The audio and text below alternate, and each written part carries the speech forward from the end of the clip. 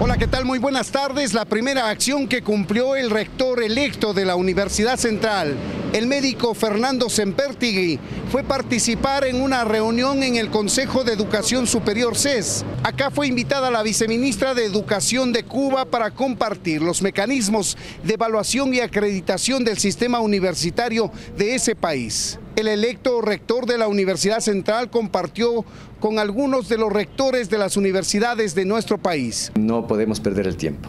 Desde hoy mismo que ya arrancamos con esta participación en la conferencia convocada por el Consejo de Educación Superior, sabemos que para nosotros el tiempo apremia. El rector en funciones que perdió la contienda se negó hoy a hablar con la prensa. Se dice que espera los resultados oficiales, incluir cifras de Galápagos, que en todo caso no van a alterar la tendencia que le favorece a Sempertegui. El rector electo, por su parte, ya piensa en las primeras acciones que cumplirá. El año 2014 es para acreditar las carreras. Queremos que todas las carreras de la Universidad Central acrediten. Edgar Samaniego terminará su gestión en marzo y entregará la posta a Fernando Sempertegui. Desde marzo de este año empezará su administración. Es nuestro informe a esta hora. Sigan ustedes en los estudios.